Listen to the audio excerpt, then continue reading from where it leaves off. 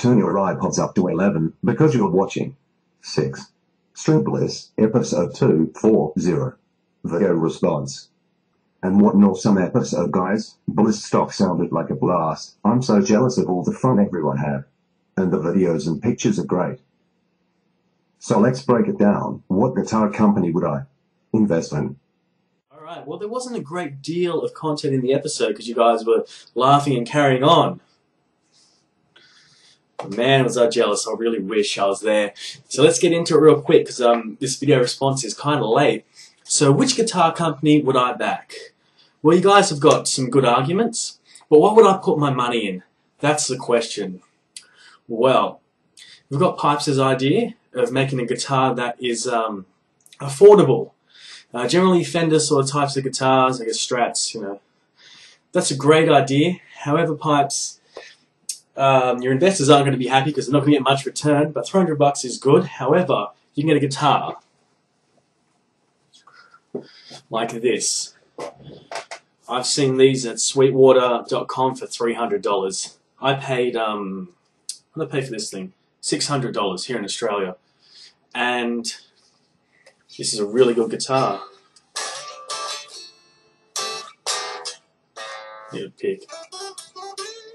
So it's a really, really, really good, fast, nice guitar to get for $300.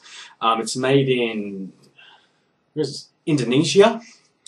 And um, yeah, nice twin humbuckers, fixed bridge, volume tone. Uh, it's got a three-way select because I changed it. Only had five-way switch on it. Um, Ibanez tuners are pretty good. They work. Nice, fast Ibanez neck. Uh, it's plastic binding, but there's still binding around there. Nice deep cutaway. It's actually, um, you can see there, sort of shaved away at the heel of the um, neck joint, so you can go right up to the 24th fret. Uh, plays like a dream. So that's why I'm not going to back uh, Pipes' idea. Sorry, dude. So, whose idea should I back? Well, PT's idea. I love the idea of having a um, horror theme, horror theme to guitars. I think that's great. However, um, with the licensing and that sort of thing, I mean, it's going to be very specific, very specific to a very specific market who will want these guitars. And, um, you know, all you really said that was special about them as a design, as a graphics, you know, I'm hoping they play well. I really am. And um, I think it's a really, really cool idea. You know, bring a theme into it. You know, theme guitars are great. You know, you normally only see them as one-offs, but making a production of theme guitars is cool. But I'm not going to back you either. I'm going to put my money into Pappy's idea. You're probably going to ask yourself, why on earth am I going to put my money into Pappy's idea? Expensive guitars. But that's what I like. I'm not into buying really uh, sort of beginner's guitars at, at all, like Pipes is into.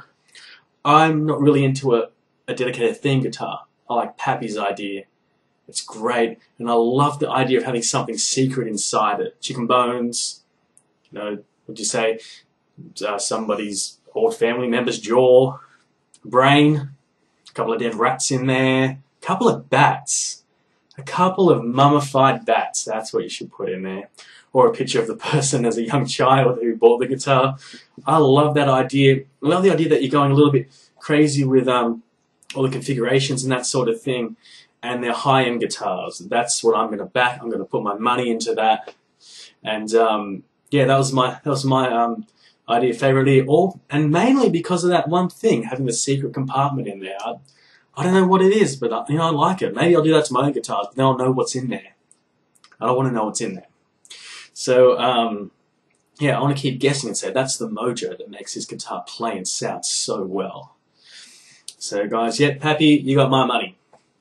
Uh, what's next? Well, you guys sound like you have an awesome time at Bliss Stock. I checked out the videos. It was really cool. It was really, really awesome to hear Steve Benford play the intro track and um, see Dave Max smiling ear to ear as he was playing. It was really, really cool uh, seeing everyone there. Looks like you guys had an awesome time.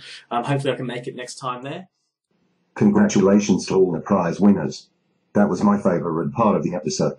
And thanks to the hosts, cities, who made Bliss Stock happen. Well guys, thanks for checking out my video and I'll catch you next time.